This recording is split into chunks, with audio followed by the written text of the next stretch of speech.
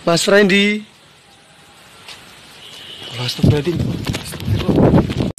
Heboh di media sosial video yang menayangkan seorang kurir tengah mengantar paket.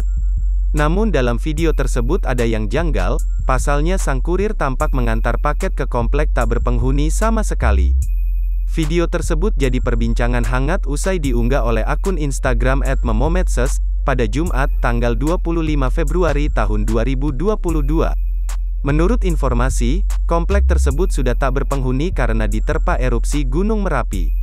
Diketahui komplek tak berpenghuni tersebut terletak di Kecamatan Ngeluar, Kabupaten Magelang, Jawa Tengah.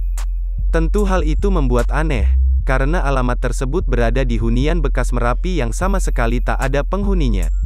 Lebih mengherankan lagi, paket tersebut pun tertulis secara lengkap nama pengirim serta alamat lokasi tersebut. Kurir pun tampak terkejut saat melihat kondisi hunian yang sudah terbengkalai dan sepi. Namun ia mencoba meneriaki nama pengirim dan mencari rumahnya. Namun tak ada yang keluar dari rumah tersebut. Ia pun terlihat panik dan akhirnya kabur terbirit-birit meninggalkan lokasi.